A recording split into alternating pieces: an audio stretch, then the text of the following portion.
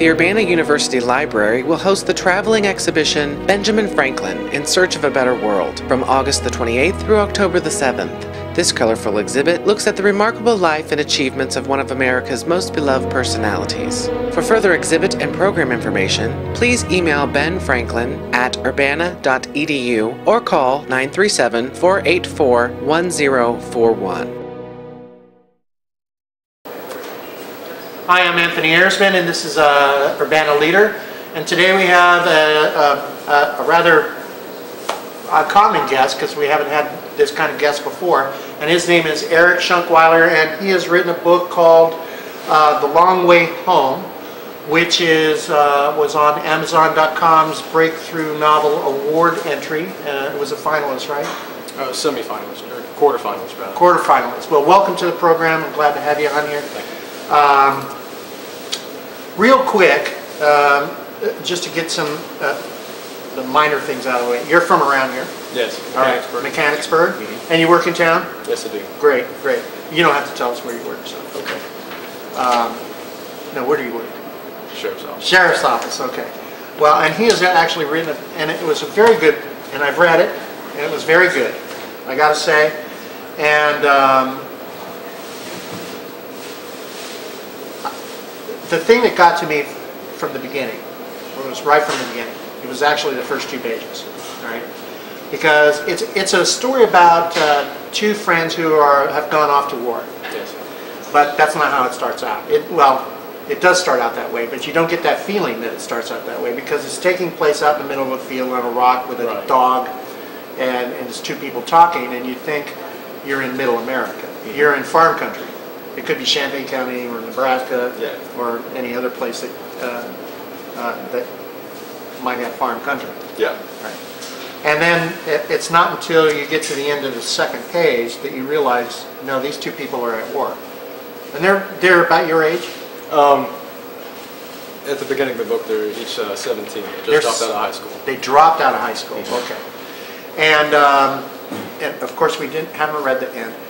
Um, and is it, is David the one who is, um, uh, which, which is the character that is in, is basically enjoying himself? He's Uh, at war and he's in, basically, he's thinking it's pretty cool. I don't know that either of them really think that it's very cool. Really? Uh, but Red is the one that uh, quickly begins to excel. Excel. Mhm. He's, he's good at what he's doing. He He's a good soldier. He is. And David is not a good soldier, is not such a good soldier. He's not as good. Uh, the fact that he's still alive, I think, means that he's an all right soldier. Uh, means that he's an all right soldier. And they're, and they're best friends? Yes. Or they're just people that? They're, they're best friends. Okay. And um, we won't ask you how it ends. Okay, We- please we won't don't. have We won't ask you how that. And uh, so, what made you, um, I I would like to know, was there anything in, in particular that um,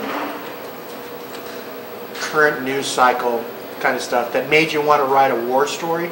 Or it was just something that you have always wanted to do? It's it's not really something I always wanted to do. Uh, I've wanted to write for quite a while, um, but as far as this particular story goes, the origin of it is actually pretty pretty winding. Um, a long time ago, I wrote a webcomic, Okay, um, and and I needed a backstory for it, and this is essentially the backstory.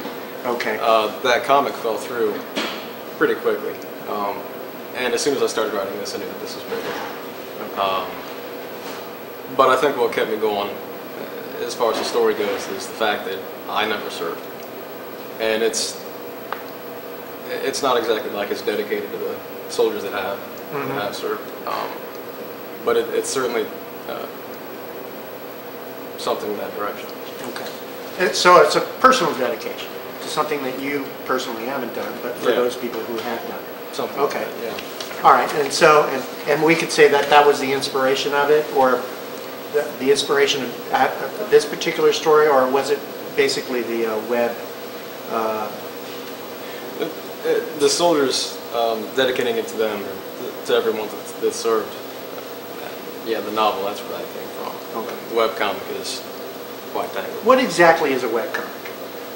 Uh, almost exactly what it sounds like. It's It's a comic book either- on it's the e- web? Yeah, it's Okay. either uh, like Marvel comics on online or it's like a little strip. It depends upon the comic. It can be very short, it can be long. Uh, you can have a single page or just two or three frames uh, for each update that you have. Now, what was, in writing, in then writing uh, The Long Way Home, what, what would you find, what did you think was the mo, what was the hardest thing for you? What was, what was, what was hard for you to get past? I mean, Um, some people, it's like, you know, character development, or it's some, something personal in their lives happens and, and, and and it ends up in the book and they have to get past it somehow. Was there anything like that for you? You know, I, I hate to say it, I don't think that there was. Uh, I enjoy just about everything about writing. Um, from editing uh, to re-editing to editing for the third time, I enjoy it. Okay. Um, So you didn't find, there was nothing hard, that, nothing that was hard for you to get past? you mean like emotionally? Emotionally, yeah. Uh, Sure, when? there were times that it got somewhat emotional, um, but whenever that happened, I thought that I was doing well. If it invoked an emotion like that in me, and I knew exactly what was going to happen, or at least I thought I did, uh, then hopefully the reader's going to feel the same sort of.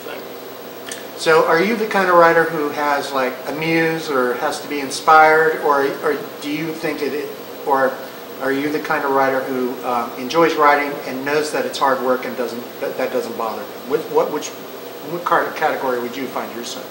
Uh, I don't. I don't say that I that I invoke any sort of muse, um, but there does seem to be something that I'm not in complete control of, and, and I don't mean that in any sort of supernatural way. I just mean that there's a, a part of the subconscious that, in my case, uh, seems to fill up throughout the day throughout the week, whatever span of time you're talking about. Um, and once once that part of the brain is filled up, I can start writing. Um, and it's it's exactly like a pitcher of water or something like that. I have to wait until it's full, and once it's full, I can I can get back to the page. Uh, but it's it's nothing supernatural like like a that. And I do enjoy it. So it's something of a combination of the two. Right. But Yeah, I have a brother who writes, Mm. and uh, he writes novels. Uh, He went to um, Wright State, took journalism. Of course, now he's a, you know, he moved to Las Vegas to become a dealer. Now, I tell people that he went there to become a showgirl, uh, and it didn't work out, so he became a dealer instead, but uh, that's our pers- personal joke, and, and I hope that he sees that when he views it online. It's, I have to give my, my youngest brother a shot, because that's what you do to younger brothers. Mhm. Uh, and he uh, thoroughly enjoys it, and um, he likes the work of it yeah. you know. Um, I'm not, I'm not entirely sure that he's um, inspired to write a particular story, but he has, um, uh, he just takes whatever idea pops into his head Yeah. and sometimes and writes it down, and, and sometimes he revisits them, and sometimes he doesn't.